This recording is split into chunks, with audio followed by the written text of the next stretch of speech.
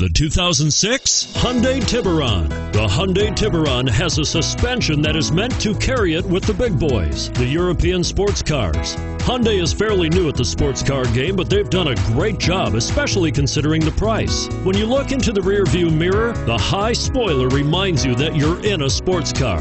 This vehicle has less than 60,000 miles. Here are some of this vehicle's great options anti lock braking system, air conditioning, adjustable steering wheel, power steering, four wheel disc brakes, aluminum wheels, keyless entry, rear defrost, AM FM stereo radio, front wheel drive. Drive away with a great deal on this vehicle.